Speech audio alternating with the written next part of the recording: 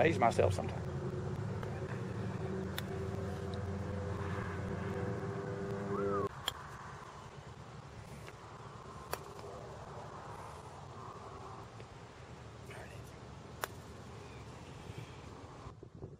And hold that finish.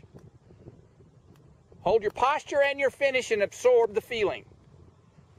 I'll tell you what, I'm going to videotape those four clusters. That's those are pretty good, guys. So even though they're different distances, y'all are duplicating the first ball pretty well, pretty well. And if you can master that and really get good at that, that's going to serve you well as you continue to, to practice. Now here's how you you use that on the course. Go ahead and get your balls again. Okay, Bob, uh, going to compare your putting stroke to Tiger. First of all, let me say you have a really good putting stroke. There's only one small little addition I would like you to work on.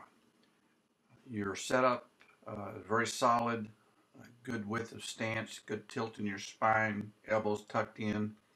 I really like everything about your setup. I want you to watch uh, Tiger first. And uh, we worked on this, is putt, hold, look. And uh, as you come, as Tiger goes back, as he strikes the ball, his eyes are down at the moment of impact. They're still down, they're still down, they're still down. He doesn't start lifting his, turning his head. Ball has left the camera screen. Tiger's eyes are still down. His putter's come to a complete stop and he holds that finish. And then he'll start to turn after he's held for a moment or two. Tiger's now turning to look at the result, but while he's turning and looking, he's holding his posture and his putter head finish, or he's not recoiling the club back. And that's a, uh, standard high level uh, putting stroke fundamental that, that I wanted you to have as well. So let's uh, look at this. Now let's take a look at your putting stroke. This was before we made any adjustments. And uh, you did you do a lot of the good things that Tiger is doing. As you hit the ball, at that moment your eyes are down.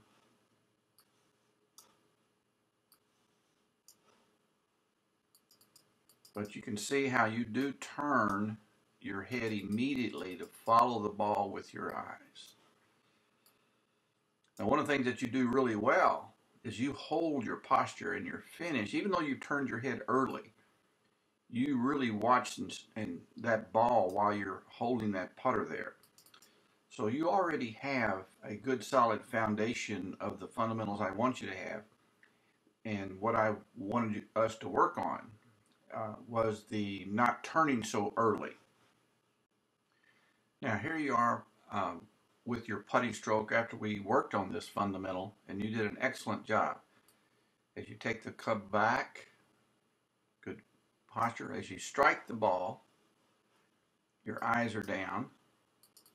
You're, you're keeping your eyes down and you're not turning.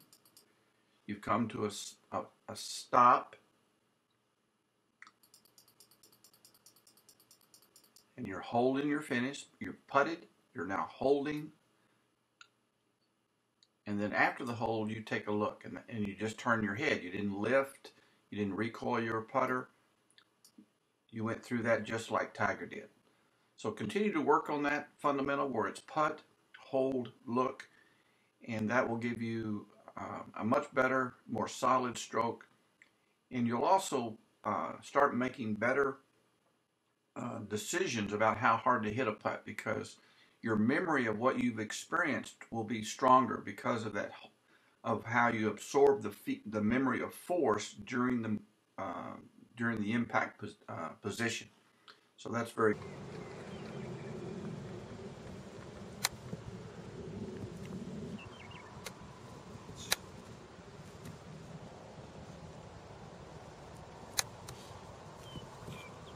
of feet close together, hands forward, and stay on your left side so that your your helps you hit down into the golf ball.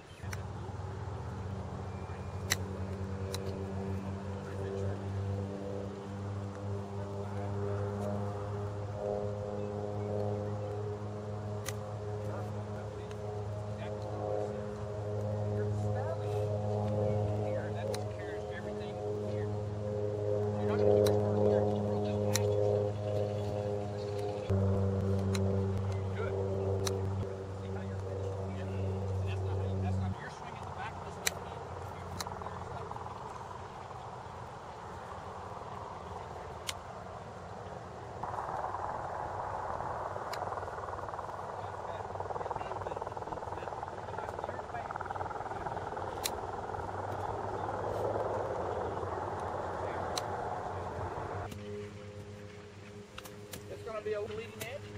But now if you if you move the ball, if you if you look, let your eyes gaze more left now, and try to slide the bounce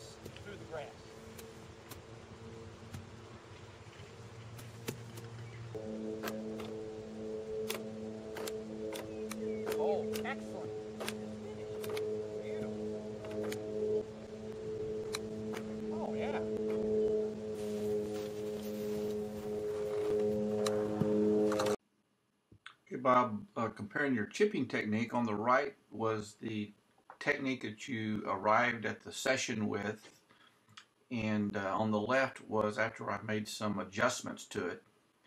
The standard fundamentals for these shots are feet close together, choke down a little bit, weight forward, hands slightly forward.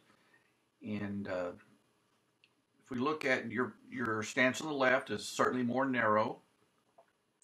And um, the other thing I like about what you have uh, in your new setup is you can see how on your original setup there's a little bit of an an angle there. And you're you have a much more connected uh, radius of your golf circle. The left arm and the shaft kind of become a constant radius for the circle so that you have consistency in the depth of the arc as it goes through the ball and that's an important uh, part of uh, consistent chipping Now, you already had a pretty good action uh, with your hands and arms. Uh, you weren't uh, too wristy. This is your uh, original fundamentals technique. You come through, you, you, you do let both hands swing through. You're not overly cupping the back of the left wrist.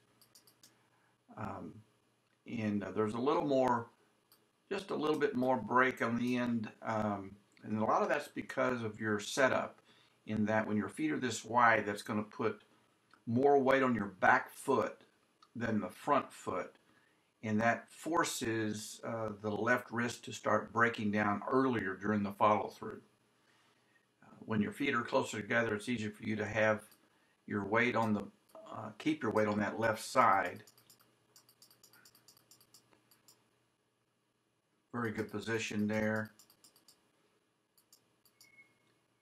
and your left hand just swings a little higher, you can kind of see how this right hip and knee move forward a little bit more. Uh, you can see how the space between your knees on the right um, is bigger, and therefore it's an indication that you're not uh, shifting or staying on the left side. But you did, you executed that very, very well this here is when we're working on using our bounce. Again, you've got a really good setup. Your feet are close together, choking down, weight forward, left forward, uh, hands forward. You're, you're still strongly on that left side. You're not rocking to the back foot. That looks really good. Sliding right under the golf ball. That ball takes off It's not, it gets up quite a bit. Very nice. Very good technique. Just keep working with that until it becomes more and more comfortable. The, the main thing that to focus on is that setup. Just by getting your feet closer together, it makes the, uh, the fundamental technique uh, much easier to, to work with. When your feet get too far apart, uh, it's impossible to maintain the proper uh, control of your weight position and the location of the low point of your golf swing. So by having your weight on your left side allows the low point of your arc to be in front of the ball, which is going to increase your consistency of hitting the ball clean and crisp.